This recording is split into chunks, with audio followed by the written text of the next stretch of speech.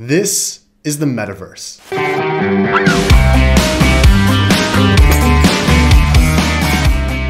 It is supposedly the next big thing that will irrevocably alter our online lives. But will it? And what exactly is it? I'm Jackson, Director of Video Production at Cointelegraph, and in this video, we're going to dive into what the metaverse has to offer and how blockchain technology will be key in building it. Don't forget to subscribe to our YouTube channel for new videos about crypto. We are the leading channel for crypto news coverage and education.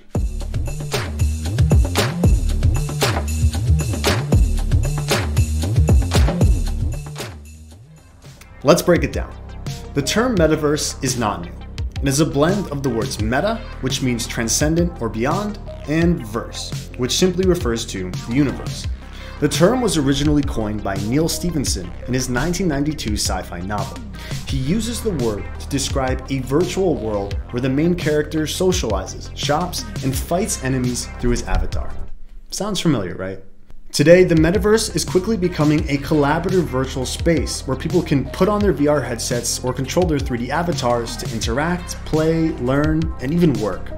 It is also becoming an entirely new economic realm. The metaverse is exactly like the current version of the internet, but it's fully immersive. Well, maybe not just yet. So now that you know what the metaverse is, you're probably wondering who is actually building it? It looks like a video game, so it's probably just the gaming studios, right? Well, not exactly. Remember this guy? It, to redesign the, the Facebook app. Well, now he's this guy. Our company is now Meta. When the social media giants start getting involved, that is a signal that the metaverse is going to be much more than a game.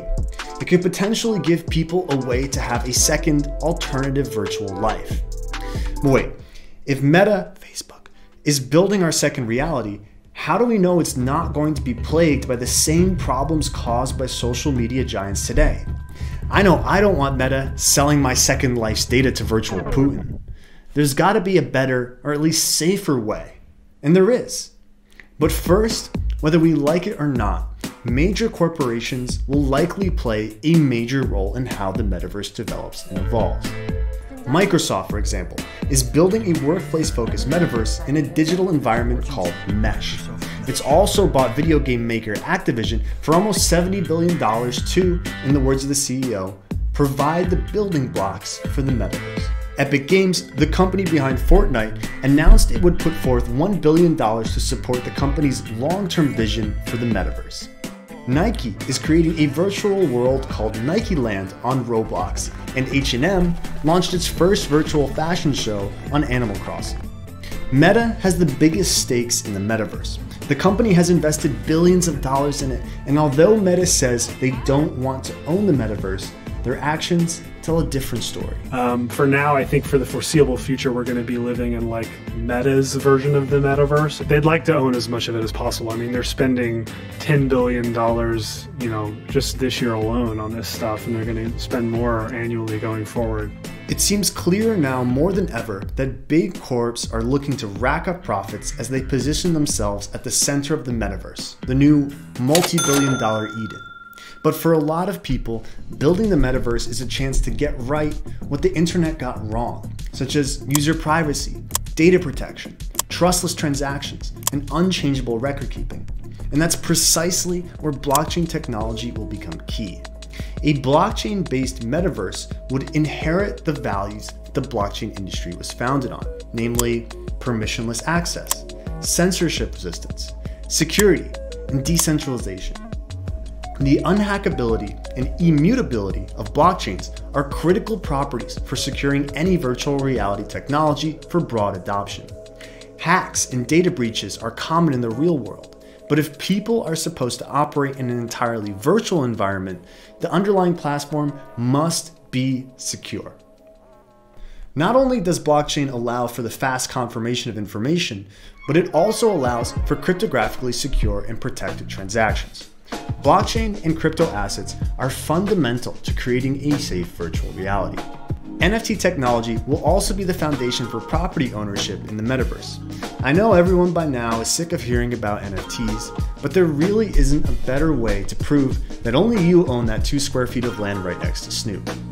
One of the best examples of this would be Decentraland, a virtual world owned by the community and based on the blockchain platform Ethereum. Decentraland is divided into virtual pieces of land that can be bought with Mana, the cryptocurrency of Decentraland, and owned by identifying them with NFTs.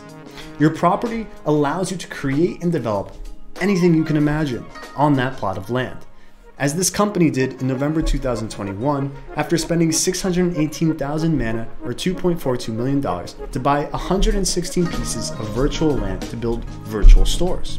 They plan to sell clothes for avatars and host fashion shows.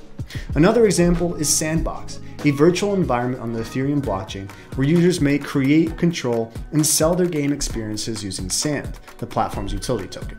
Sandbox also partnered with Snoop Dogg to bring the legendary icon into the metaverse. Snoop is working on building his own virtual world on the platform. And you know what? An NFT collector spent a little under half a million dollars to become Snoop's next door neighbor. Spot taken. Blockchain technology is laying the groundwork for a new economic environment, which could generate trillions of dollars in the next few years. Who knows, it may even become bigger than the physical economy in the next few decades.